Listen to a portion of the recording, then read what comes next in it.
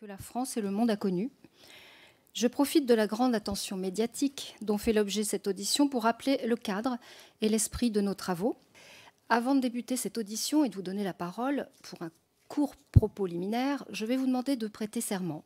Moi, personnellement, j'ai eu des tensions comme jamais de ma vie de journaux qui m'ont demandé si c'était vrai que j'avais oublié de déclarer des conflits d'intérêts avec Sanofi, sinon on retirait mon papier, qui m'ont demandé si c'était vrai que je n'avais pas eu l'accord euh, de la NSM sur le premier travail que nous avions, heureusement, envoyé le papier. Ça n'est jamais arrivé de ma vie qu'il y ait une tension de cette nature-là.